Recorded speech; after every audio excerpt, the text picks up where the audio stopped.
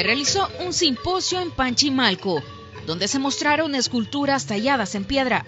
Cada artista trae su, idea, digamos, cada artista trae su, arte y, viene a, exponer, digamos, lo más sublime, lo más bello, digamos, de su corazón para poderlo dejar aquí en el municipio.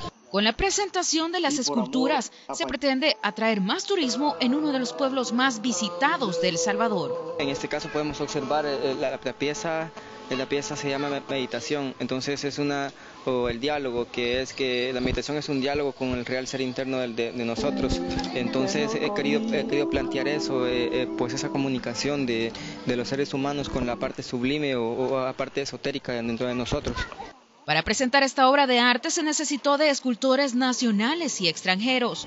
Esto es... no es un regalo, eh, es una donación, como decía mi hermano Francesco y mi hermano Simone.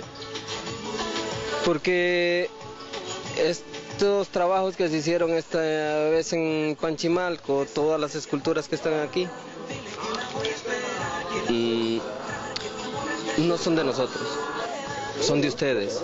El simposio se encuentra dentro del Parque Acuático de Panchimalco, donde usted puede disfrutar de sana diversión en familia y por supuesto de mucha cultura.